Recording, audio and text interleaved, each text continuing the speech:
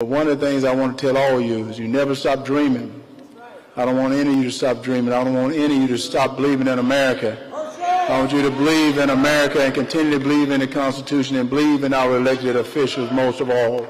Continue to pray for them because all the prayers you've given me, I felt those prayers. There's no excuses in life. And I'm not going to make any excuses now because we put up one heck of a fight. And I said, that's what, that's what we got to do because this is much bigger. This is much bigger than Herschel Walker. And I told, I told someone this the other day.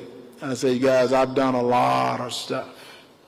Uh, you talk about Heisman Trophy, you talk about all the athletic awards, business awards I won, but the best thing I've ever done in my whole entire life is run for the Senate seat right here. Oh, we're disappointed. We really hoped Herschel was going to win. We thought that Georgia would turn red again and back to our roots and our principles, but somehow Warnock won. So I don't know. We're pretty disappointed, but you know, God has bigger plans for Herschel, different plans, and He exposed a lot of evil and a lot of a lot of um, problems that Georgia has and our country has. You know, we've got to stand up for our country and our Constitution and good things, and that was always made as a high point. I'm disappointed. I'm sad. And I'm very hopeful that we are taking back our country. Tonight was a big loss,